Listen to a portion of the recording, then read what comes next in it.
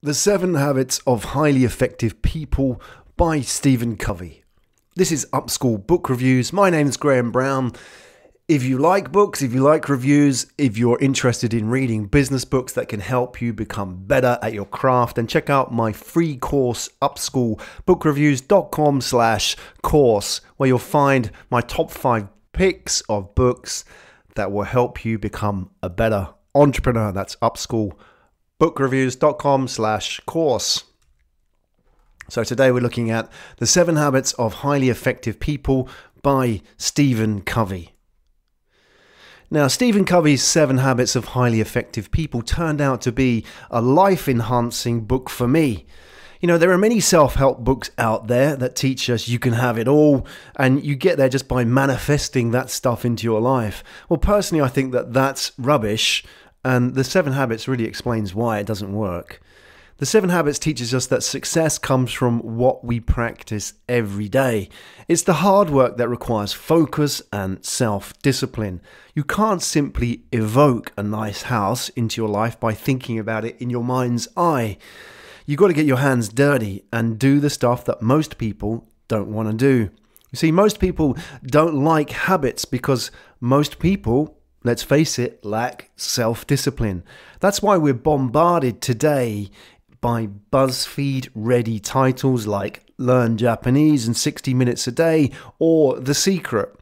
These are the silver bullets. Like diets, people try them and fail, but their memory is short enough that they simply bounce from one trend to the next.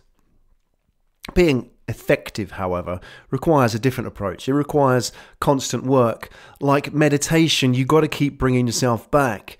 Covey describes this as flying the plane. An airplane spends 95% of its time off course.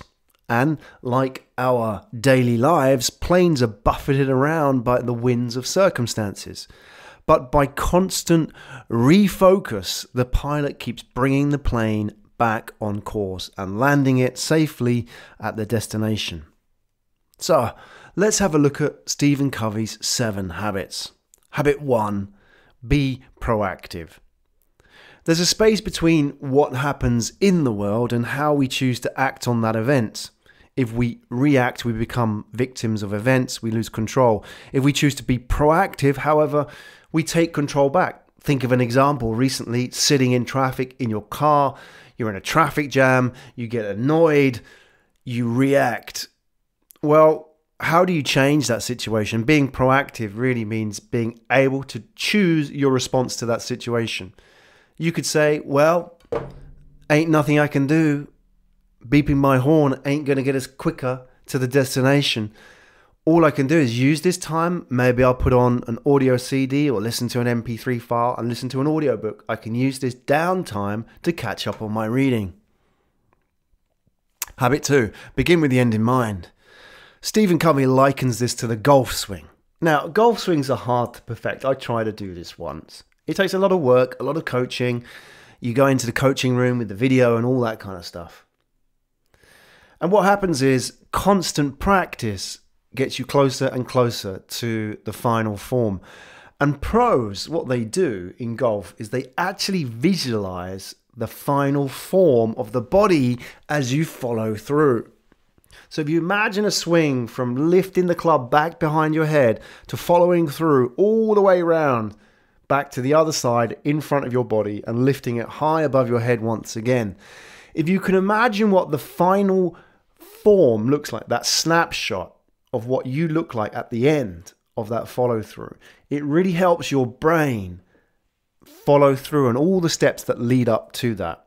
Now, sports psychologists have long documented this power of visualization in achievement. Some athletes would visualize their success, they would actually see a medal ceremony happen. And that helps them get to that place. This is not the secret again. This is not manifestation. This is different. This is about training your brain to assume that these things will come into your life and be prepared for it and not be somehow fearful of these things happening because once we become fearful of these situations our brain finds another route which takes us away from that destination And it's not just in sport as well. Gandhi famously would visualize his follow through, so to speak, the end in mind when he went and did a public speech. He would visualize everybody to the right of him clapping and cheering, then people in front of him clapping and cheering, and then people on the left of him clapping and cheering before he even got on the stage. Habit three put first things first. Most people major at minor things, and Stephen Covey has a quadrant which divides our tasks into important, not important, urgent, not urgent. Most people spend their time in the important and urgent quadrant. You think about it, that's how we live day to day firefighting. And what Covey says is that we have to move away from this quadrant into the quadrant of important and non urgent. Why? Because once you're in that quadrant, you're actually working on your agenda. By contrast, when you're in the quadrant of important and urgent, you're reacting to other people's agendas. You're firefighting, whether that be client requests or emergency emails or whatever. And the time that we spend by contrast in the important and non urgent quadrant is the most valuable time of, of all. And this is the time of creativity, of planning, and so on. Habit four think win win. You can't do it alone that's how it is today. Even though in the education system that we are trained, indoctrinated within, you have to go alone. If you were in a test situation and you turn around to your fellow student and compared answers, you get thrown out. However, in the real world, you have to cooperate like this. So the key here is to surround yourself with the right people with the right win win mindset. And it sounds a little bit sort of buzz talk, I know. But what is that in reality? See, there are people out there who are win lose. Those are the people that if you win, they lose. They have a scarcity mindset. They see a fixed amount of resources. So every success that you have takes away from them.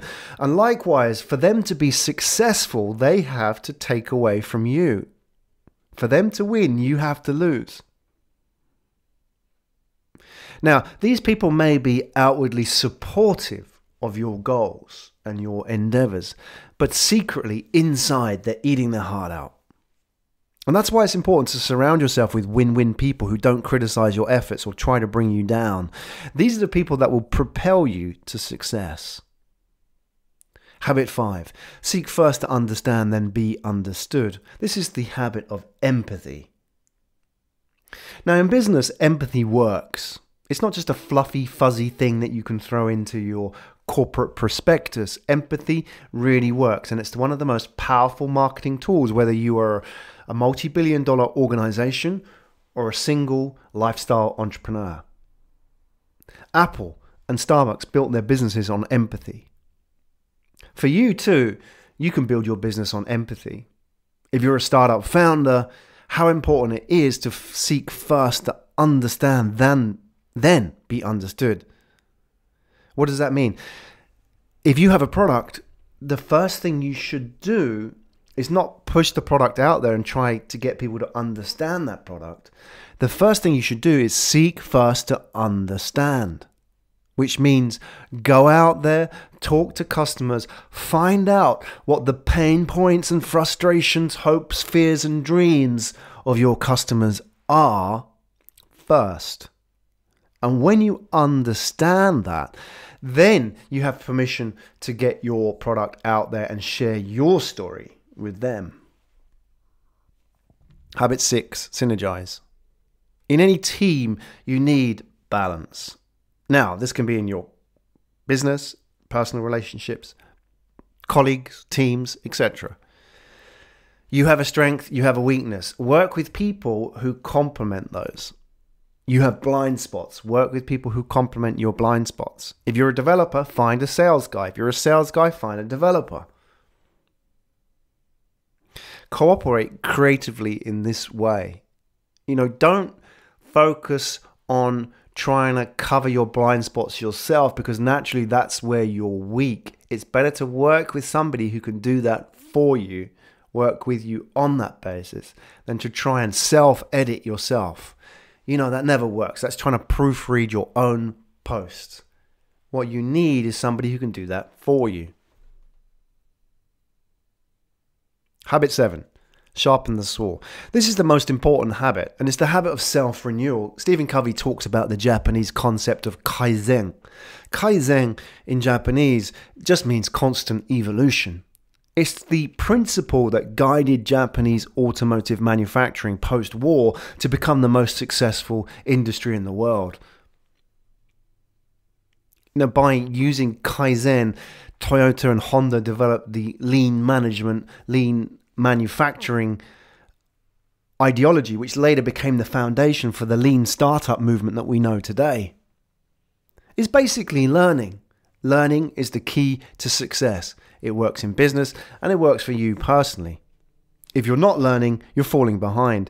So, successful entrepreneurs are all passionate about learning. That doesn't mean reading articles, that means reading books, taking time and investing in themselves, in courses, in books, you know, a book is an amazing thing. For $10, you can change your life. Where else can you get that kind of impact in your life? So, on that note, here are two quotes on learning that I've personally gained from reading the works of others. Peter Drucker, the management guru, once wrote that the only skill you'll need in the 21st century is the ability to learn new skills.